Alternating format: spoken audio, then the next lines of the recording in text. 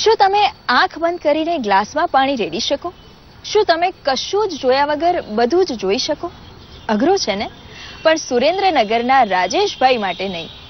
નાની ઉંમરે આંખો છીનવાઈ ગઈ, પણ તેમનો આત્મવિશ્વાસ અને આંતરસૂઝ કોઈ છીનવી ના શક્યું. પ્રજ્ઞાચક્ષુ રાજેશભાઈ લીમડી ગામે ફરસાણ બનાવવાનો વ્યવસાય કરે છે. તો આવો, સ્વાદ અને સોડમની દુનિયામાં કરીએ રાજેશભાઈની દ્રષ્ટિનો પ્રવાસ, જેમની હિંમત આપણા માટે છે ગુડ ન્યૂઝ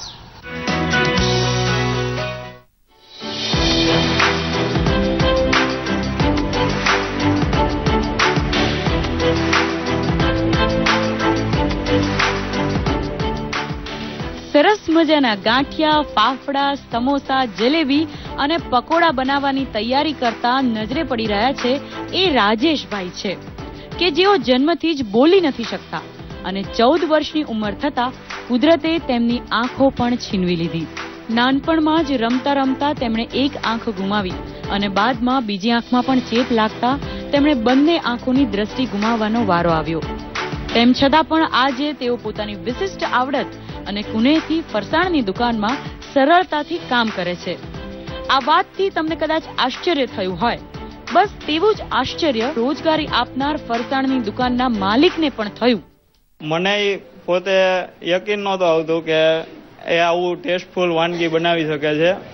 પછી મેં જાતે એક દી એમને કીધું બોલાવીને અને એમને બનાવ્યા પછી મેં એમને કામે રાખ્યા. અત્યારે હું એમને દોઢસો રૂપિયા રોજ ઉપર રાખું છું.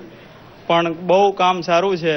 અને આવા ટેલેન્ટેડ યુવાનોને, આવા ધંધાર્થીઓ, મોટા બિઝનેસમેનો કે બીજા કોઈ પણ ફાસ્ટફૂડના જે એમનામાં કળા છુપાયેલી છે, બીજા કોઈ અન્ય વિકલાંગોને એવાને તેઓ રોજગારી આપે એ જ હું કહેવા માંગુ છું. હા ભાઈ સાંભળી શકતા નથી જોઈ શકતા નથી બોલી શકતા નથી પણ એમના આઈટમ જે બનાવે છે સમોસા છે ફાફડા છે બહુ ટેસ્ટફુલ છે. રાજેશભાઈના પિતા ફરસાણનો ધંધો કરીને પરિવારનું ગુજરાન ચલાવતા હતા. પરંતુ તેમને હૃદયરોગનો હુમલો આવ્યા બાદ શારીરિક સ્થિતિ બદલાતા તેઓ કામ કરવાની સ્થિતિમાં ન રહ્યા. રાજેશભાઈના માતા શિક્ષિકા છે. તેમણે જ પરિવારનું ગુજરાન ચલાવવાનો વારો આવ્યો. પરંતુ હવે રાજેશભાઈ પણ ઘર ચલાવવામાં આર્થિક રીતે મદદ કરે છે. ખાસ કરીને દુકાને ફાફડા સમોસા લાડવા પેંડા અને એ બધું કરવામાં મને મદદ કરતો હતો. બીજા લોકો આની પ્રેરણા લઈને આગળ આવે તે સારું છે.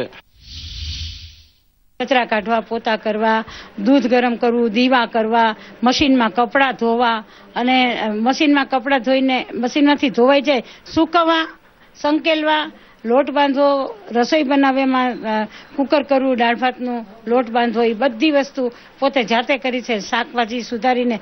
એટલે રાજેશ જ્યારે કામ કરતો હોય છે, ત્યારે કોઈ એવું વિચારી નથી શકતું કે આને કદાચ દેખાતું હશે. આ આટલી બધી વિકલાંગતા હોવા છતાંય જો આ કરી શકે તો પછી એક એક એક એક એક એક અંગની ખામીવાળા કેટલું કરી શકે એની કલ્પના કરી શકીએ લોકો જે વિકલાંગતા જોઈને મૂંઝાઈ જાય છે, મૂંઝવણ ન અનુભવો, એની આગળ શું કુશળતા ભરી પડી છે, એ આપણે કાઢો અને એને એને વિકસાવવાનો પ્રયત્ન કરી, તો રાજેશ જેટલો બધાને સપોર્ટ મળશે એવું મારું માનવું છે. દિવ્યાંગ રાજેશભાઈમાં સુગંધ પારખવાની ક્ષમતા પણ અનેરી છે, જેના આધારે તેઓ સ્વાદિષ્ટ ફરસાણ બનાવે છે, જે અન્ય દિવ્યાંગો માટે પ્રેરણારૂપ છે.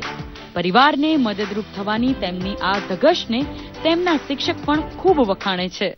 રાજેશમાં જે આ એક સ્કિલ છે, જે ફરસાણની આવડત છે, એના લીધે આજ રાજેશ છે ફરસાણ, સમોસા, પેંડા આ બધું બનાવી શકે છે અને પોતાના પગભર આત્મનિર્ભર રહી શકે છે અને ઘરના એના મા બાપને મદદ કરે છે અને સમાજને એક ઉદાહરણ પૂરું પાડે છે. જીવનની કપરી પરિસ્થિતિમાં ભલા ભલા લોકોના વિશ્વાસ ડગી જતા હોય છે અને લોકો આત્મહત્યા જેવા નિર્બળ પગલા ભરતા હોય છે ત્યારે દિવ્યાંગ રાજેશભાઈ દ્રષ્ટિહીન હોવા છતાં પોતાની કુનેહથી કામગીરી શીખીને રોજગારી મેળવી એવા તમામ લોકો માટે દ્રષ્ટાંતરૂપ સાબિત થયા છે.